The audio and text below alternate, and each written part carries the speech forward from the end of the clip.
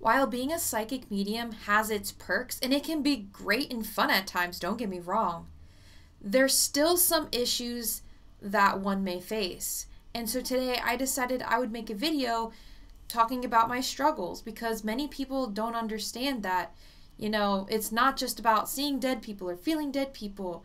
Like, there are struggles that we deal with because of our abilities.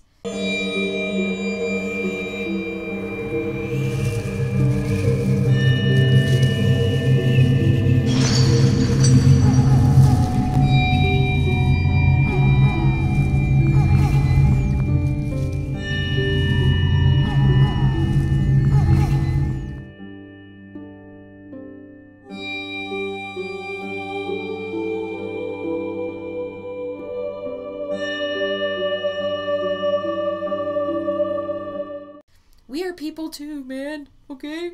No, but seriously. So I thought it would be, you know, shed some light on some things. And so I have 11 personal struggles. Now, if it's struggles that you also deal with, if you have this ability, let me know down below. I'm curious. And, you know, this isn't just for people with clairsentience. This can happen to others. And sometimes people have other abilities, you have multiple. There's that. And if I missed one, please let me know as well, because I'm curious to see if it's something that I also face. So, number one, feeling the thoughts, feelings, emotions, illnesses, whether it is physical or mental, cravings, speech patterns, habits, you name it.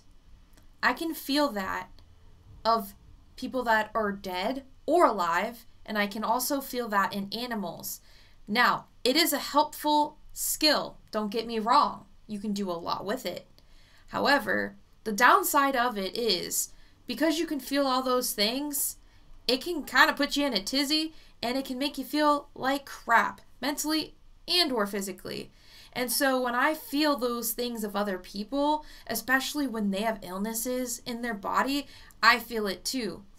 Now, here's one experience that I had at work when I was working my retail job. I don't know if I've ever talked about this on my um, channel, but there was this poor lady who had cancer. And she walked in, and the second she walked into that lobby, oh boy, oh boy, I felt it. I've never felt such excruciating pain throughout my body all at once and oh my i my heart goes out to people that are dealing with that because it is not fun. Not gonna cry not gonna cry because i'm remembering how it felt and how that person felt and yeah okay. Sorry guys. But it's that kind of stuff. I can feel everything. And when someone's having a bad time i too will have that bad time because i can feel it. Yeah animals when my dog Ghost has stomach issues, my stomach issues pick back up too. Now I already have like genetic problems and chronic illnesses in many different places in my body. And when I feel it off of him, it just makes all that stuff worse. Same thing with the people around me. And it's nobody's fault. That's just how that's just how shit works sometimes, you know? And it's always important that you learn how to work through that. And that is one of my I would say, life lessons of my current life. Number two, mystery illnesses and or chronic illnesses. This there's a bunch into this category here. So this can include because you can feel everyone's illnesses, people that are inexperienced with this ability, and I'm gonna be real. This is an ability that I didn't know I had for the longest time. It was my first ability that popped out when I was a child and I could feel everybody's problems and it became my own and doctors wouldn't know what is going on and I would be throwing up, I'd be, you know, crying, all sorts of things. Now granted, you know, sometimes there's chronic illnesses that doctors can't find and that's what happened to me as well. And it gets tricky, I'm not going to lie.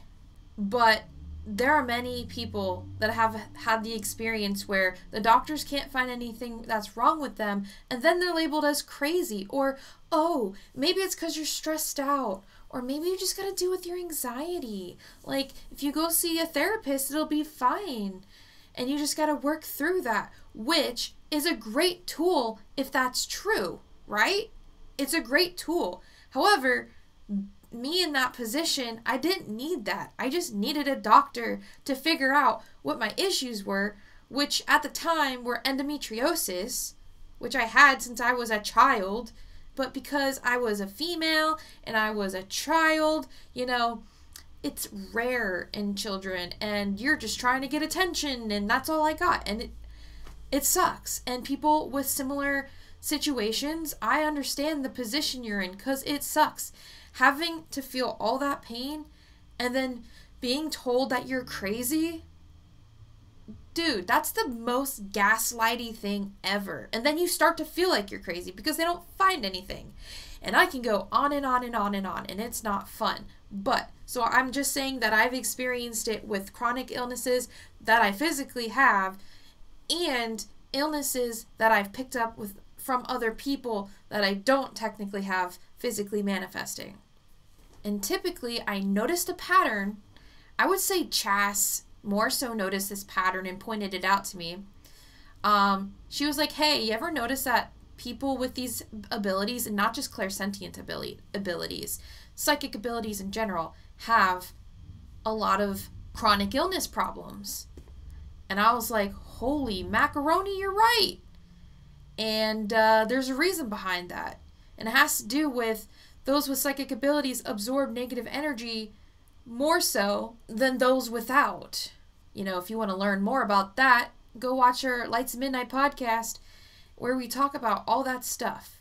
Number three, we absorb the energy around us too quickly. And if you're somebody who A doesn't know they're clairsentient or B doesn't know how it works, you might not understand that the energy is being collected in your body and you have to ground yourself and or transmute it one way or another.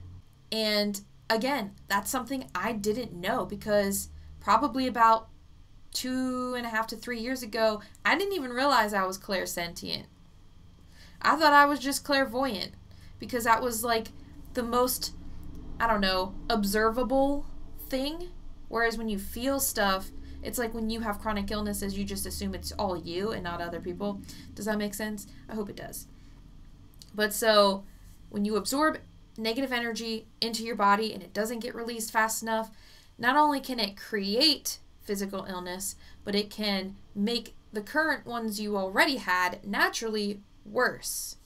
So, with that being said, it makes it difficult for me to go to places with more than three people.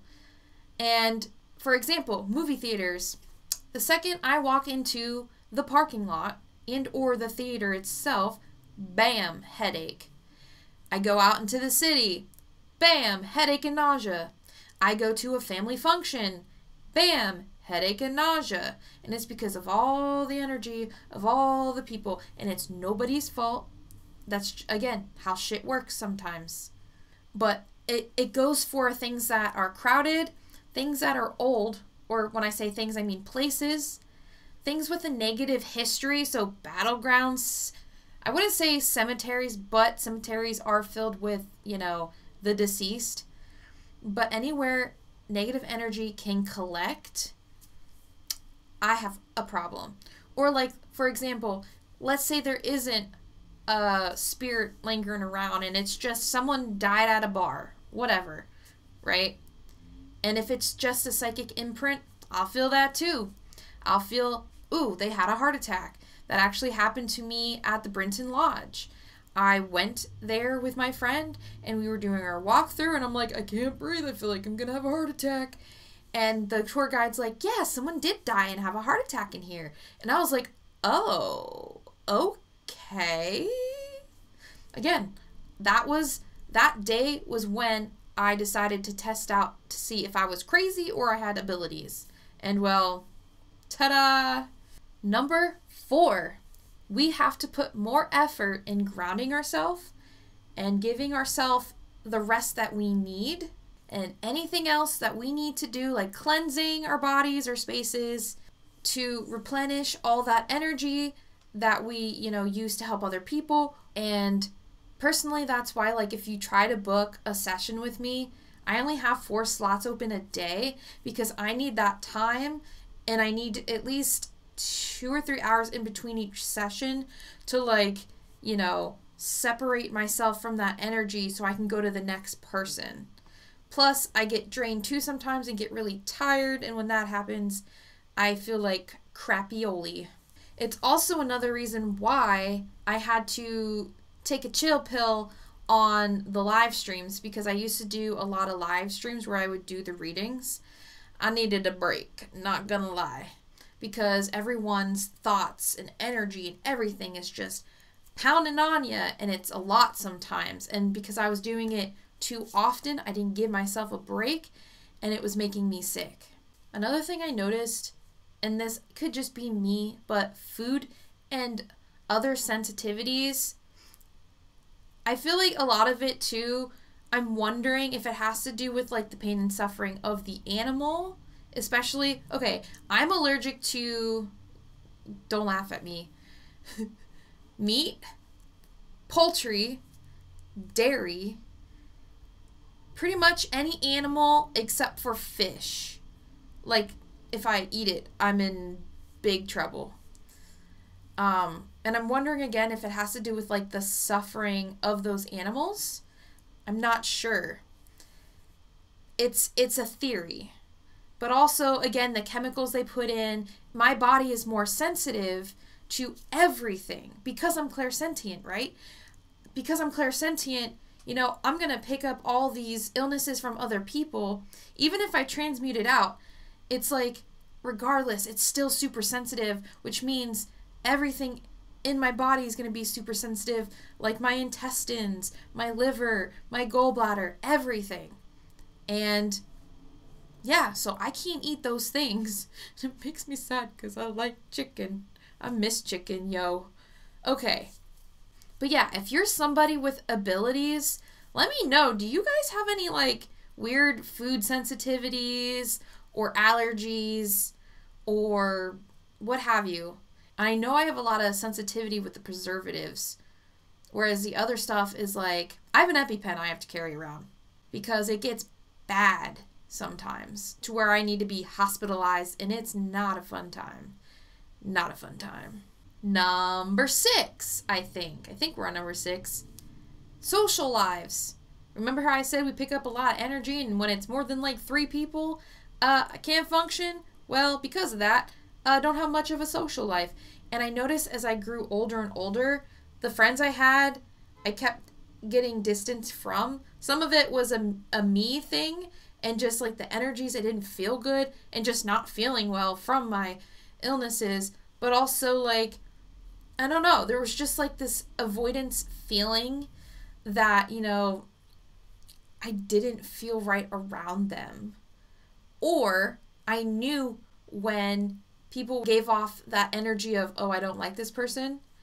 And, you know, when you're a kid, unless someone says it straight out to you, you might not notice. Some do, but some don't. But for me, mm, I noticed. Number I don't even know. Seven. You can pick up energies, believe it or not, from media. You can pick up energies from, let's say, you bought something at a yard sale, or you're watching television or a movie. Let's say you're watching a true documentary.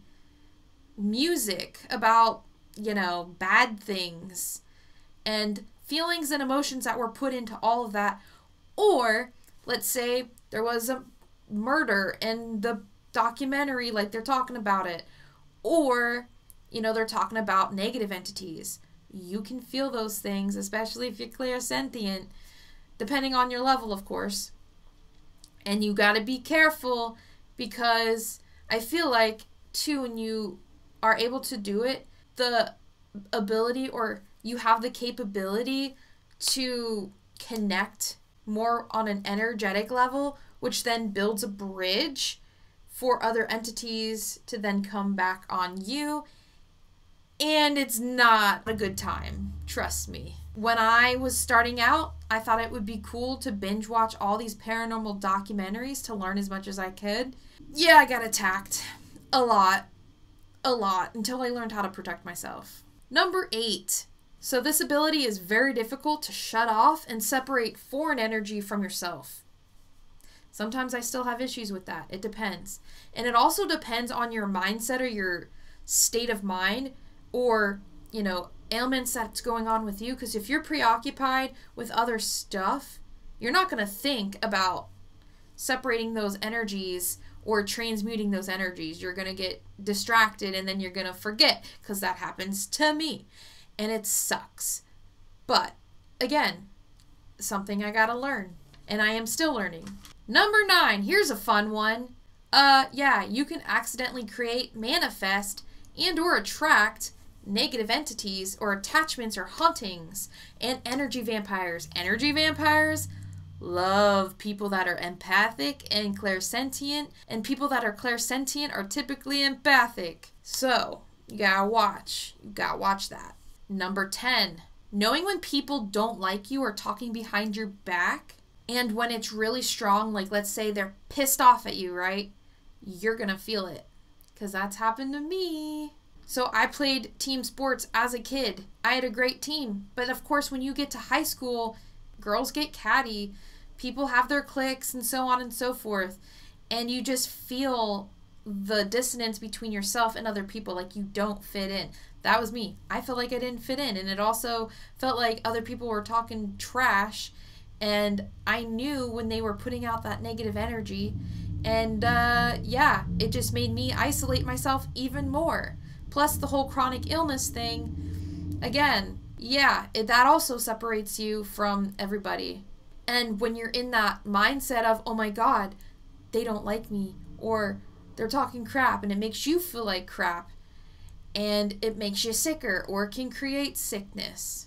And then, last one, Number 11, people criticize or judge you and are reluctant to accept you. Now, this is for any of the abilities, really, but I added it in because I feel like that's something that many of us experience. People will be like, oh, well, how do you know you're not getting your abilities from an evil place? How do you know it's not from the devil? Like, you don't know. It's like, Yes, I do. Now, people that lack a discernment, perhaps. Perhaps.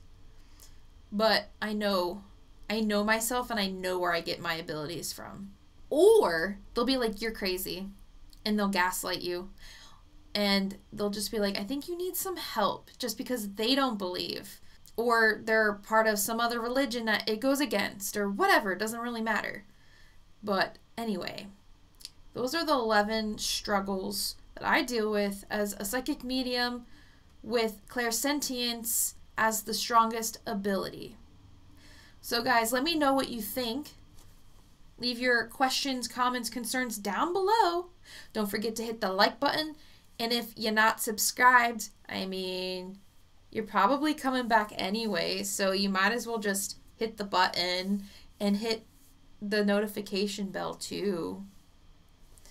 But anyway, thank you guys so much for your love and support, and I will hope to see you again soon or tomorrow. Tomorrow. There's always tomorrow.